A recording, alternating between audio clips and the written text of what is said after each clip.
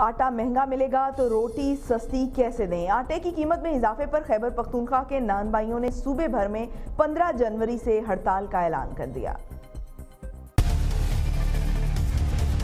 بڑھتی مہنگائی سے جہاں غریب عوام کو دو وقت کی روٹی کے لالے پڑ گئے، تو دوسری جانب ایک ہفتے کے دوران آٹے کی پچاسی کلو گرام بوری کی قیمت میں پانچ سو روپے اضافے کے بعد خیبر پختونخوا کے نان بھائیوں کے بھی توتے اڑ گئے۔ کریں تو کریں کیا؟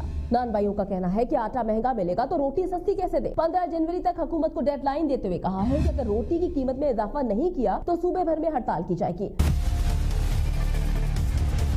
نان بھائیوں نے روٹی کی قیمت ایک سو پچاس گرام پندرہ روپے مقرر کرنے کا مطالبہ کرتے ہوئے کہا کہ حکومت آٹے پر سبسڈی دے۔ نان بھائی اس وقت آٹا ڈیلرز کے لاکھوں روپے کے مقروض ہو گئے ہیں، جبکہ آٹا ڈیلرز کو بیجا جرمانہ کیا جا رہا ہے۔ جرمانوں سے تنگ آ کر نان بھائی اپنا کاروبار بند کرنے پر مجبور ہو گئے۔